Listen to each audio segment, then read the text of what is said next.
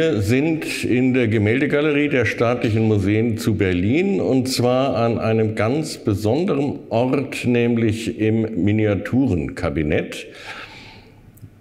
Miniaturen sind, wie der Name sagt, obwohl der Begriff ursprünglich von was anderem herkommt, aber wir verknüpfen das so, Werke kleinen bis sogar allerkleinsten Formates.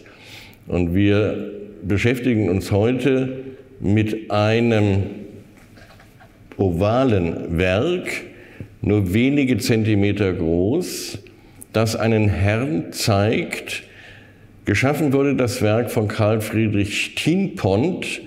Das ist ein Name, der heute nicht mehr im breiten Bewusstsein ist, der aber zu seinen Lebzeiten im 18. Jahrhundert, als er hier in Berlin arbeitete, ein außerordentlich geschätzter Maler gewesen sein muss. Er wird jedenfalls von Zeitgenossen ausgesprochen lobend erwähnt. Welchen Zweck haben solche Miniaturen? Ebenso wie das kleine Objekt von Tienpont zeigt diese Vitrine eine Fülle von Porträts. Das heißt, Miniaturen, kleinstformatige Werke waren besonders beliebt für Miniaturen. Das hat mehrere Gründe. Zum einen müssen wir uns klar machen, dass auch das finanziell aufstrebende Bürgertum des 18. Jahrhunderts durchaus nicht die finanziellen Mittel hatte, sich regelmäßig von Hofmalern in großen Formaten, in lebensgroßen Formaten wiedergeben zu lassen. Zum anderen hat das kleine Format den großen Vorteil, dass man es leicht transportieren kann, man kann es mit sich tragen und man kann es verschenken. Da spielt übrigens eine ganz große Rolle das Verschenken von Bildern oder das Präsentieren von Bildern, zum Beispiel in der Zauberflöte von Wolfgang Amadeus Mozart, wo bekanntermaßen dem Held der Fabel ein Bildnis gezeigt wird, worauf er mit der berühmten Arie, dieses Bildnis ist bezaubernd schön, reagiert.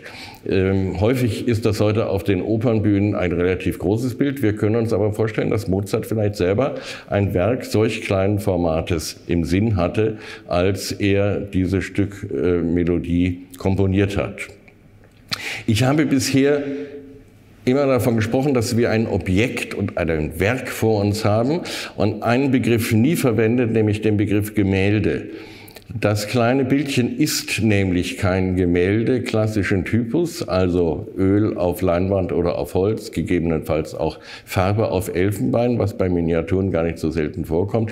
Es ist in einer besonders aufwendigen Technik geschaffen. Es besteht nämlich aus Emai.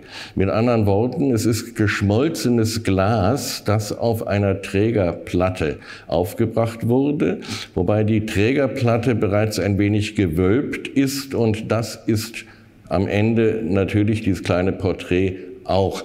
Das hat übrigens unseren Kameramann in nicht unerhebliche Schwierigkeiten versetzt, denn ein solches Werk ohne Spiegelung aufzunehmen ist extrem schwierig. Deswegen mein Rat an alle, die dieses Video sehen, kommen Sie bei Gelegenheit in die Gemäldegalerie, um sich das Werk im Original anzusehen, dann stören einen kurioserweise nämlich die Spiegelungen auch nicht mehr so heftig.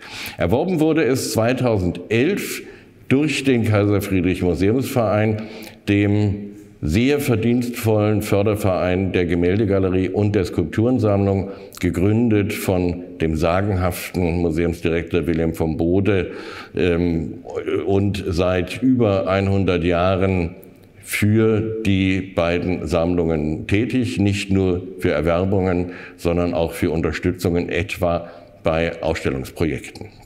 Es ist ein großer Glücksfall, wenn man, es, wenn man weiß, wer der Dargestellte ist. Unglücklicherweise wissen wir das in diesem Falle nicht.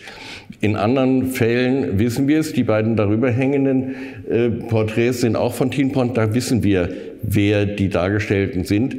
Manchmal ist es auf der Rückseite oder sonst wo notiert. Manchmal wird es auch einfach durch die Eigentümer tradiert. Aber in einer sehr großen Zahl solcher kleinen Miniaturen haben wir leider keine Ahnung. Die Dargestellten, die Porträtierten bleiben für uns anonym. Äh, und das ist auch hier mit Sicherheit der Fall, dass das so bleibt. Denn die Wahrscheinlichkeit, nochmal ein weiteres Porträt dieses uns unbekannten Herrn zu finden, äh, die uns dann seine Identität entschlüsseln lässt, ist relativ gering. Wir genießen das Kunstwerk und verneigen uns vor einem wunderbar dargestellten, sehr charmanten, aber uns unbekannten Herrn.